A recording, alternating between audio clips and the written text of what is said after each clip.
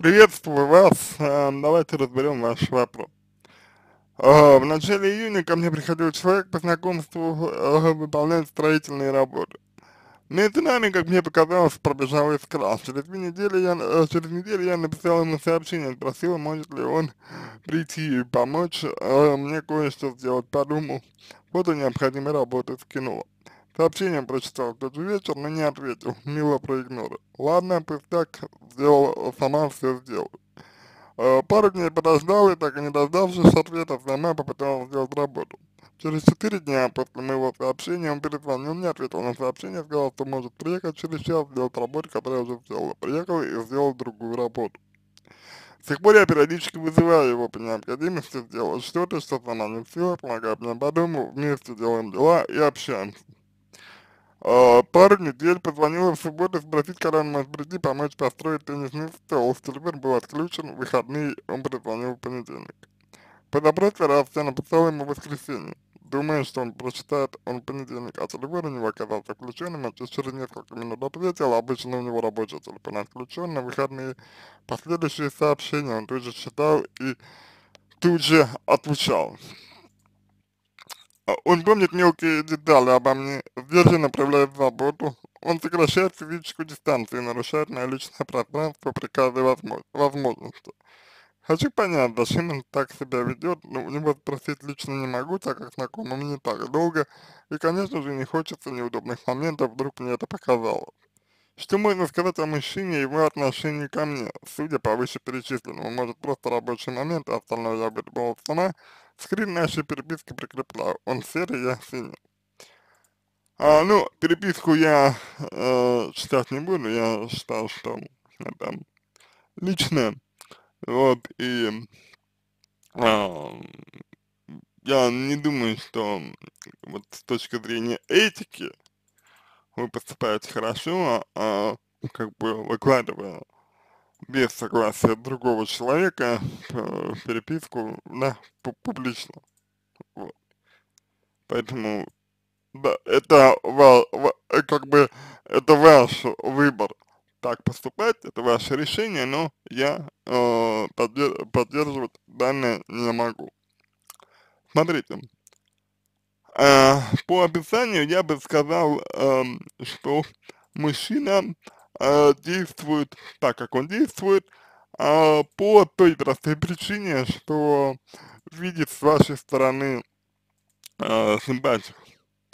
То есть вы ему, скорее всего, э, приятные. И почему бы и нет, если вы не против. То есть э, он э, будет, будет вести себя так, потому что вы, позволя, вы позволяете. Вот. И все. Но совершенно очевидно, что он вам нужен больше, чем вы ему. Хотя бы потому, что вы все время пишете первое, все время его вызываете, все время выступаете инициатором диалога, контакта. А он просто этим пользуется, когда удобно ему. То есть, по большому счету, вы находитесь, к сожалению, в неравных позициях. И вот это является основной проблемой. Потому что, чтобы выстраивать отношения, чтобы выстраивать отно именно отношения, нужно э быть в равной позиции, а вы находитесь в неравной позиции. Поэтому здесь, э, с точки зрения вот, ну, вырав, выравнивания, выравнивания, скажем так, эм, ваших позиций, с точки зрения выравнивания ваших позиций, а было бы уместно следующее, если бы сказали, что, эм, ну, допустим, эм, что э, ты мне нравишься, да, к примеру, ты мне нравишься, э, как ты смотришь на то, чтобы мы с тобой там попробовали общаться, там, как друзья, да, э, помимо рабочих моментов, вот. И при наличии согласия уже смотреть на э, его поведение, вот.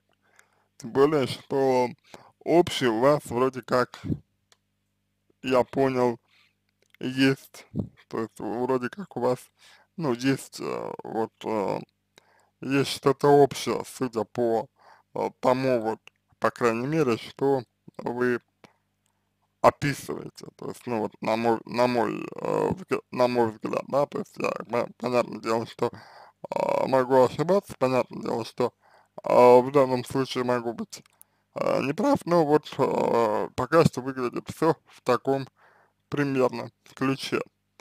Вот, вы же э, используете рабочий, рабочие вопросы для того, чтобы вы, вывести его на, контакт, на контакт и, соответственно, э, остаетесь постоянно в, неведи, в неведении.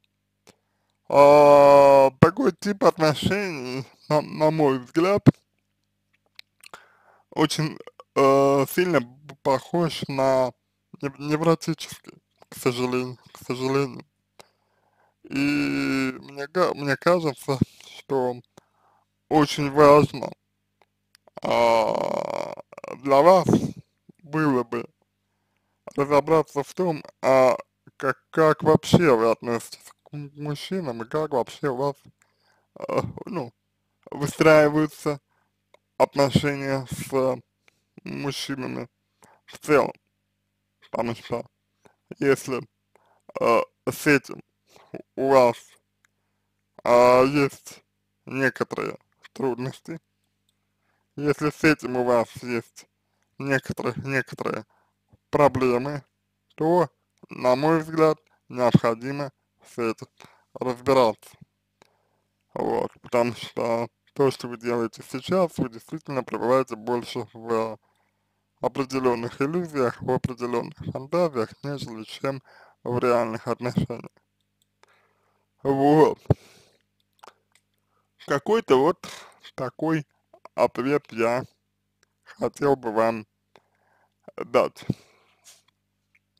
А, с точки зрения психологии. Вот. А, то есть чувствуется, что у вас вот э, как бы довольно много потребностей, чувствуется, что у вас много энергии, которой вы доста достаточно слабо отслеживаете и распоряжаетесь. Но понимаете, в чем штука? Если вы а, занимаете более активную позицию в отношениях с мужчиной, за исключением, за исключением, эм, кроме, кроме тех моментов, когда вам в этой позиции ком комфортно, у мужчины нет причин становиться более активным. Зачем ему брать на себя ответственность за что-то, если все хорошо. Итак, пожалуйста, отдавайте себе в этом отчет. И последнее. И последнее. Вы пишете, хочу понять, зачем он так себя ведет. А, я думаю, вы понимаете, но отказываетесь это признать. Что для вас значит такое поведение? Вот просто чисто для вас. На это постарайтесь обратить свое внимание.